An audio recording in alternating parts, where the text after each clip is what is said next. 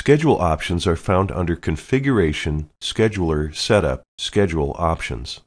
These options include defining regular business hours, the range of hours to be visible in the calendar, number of previous days displayed by default, and selecting any recurring holidays or special events.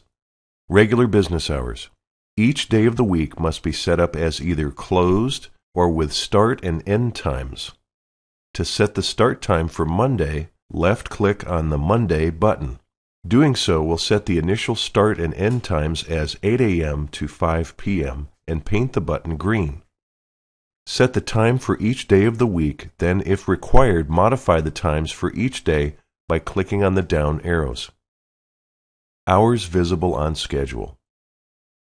Set the system to display the period of the day you want displayed in the calendar view. Typically, this would be set to an hour before and after regular business hours. Show last number of days.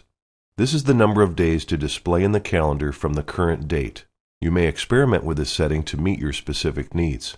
A typical setting would be 15 or 30 days. If your shop has a large number of appointments per day, you may want to use a lower setting. Holiday Setup Name and occurrence type, date, and occurrence define holidays. The Import button presents you with a list of standard U.S. holidays to be auto imported into the annual calendar. To enter an additional holiday or special event not listed, click on the Add button. Name the holiday or event by typing text into the name field.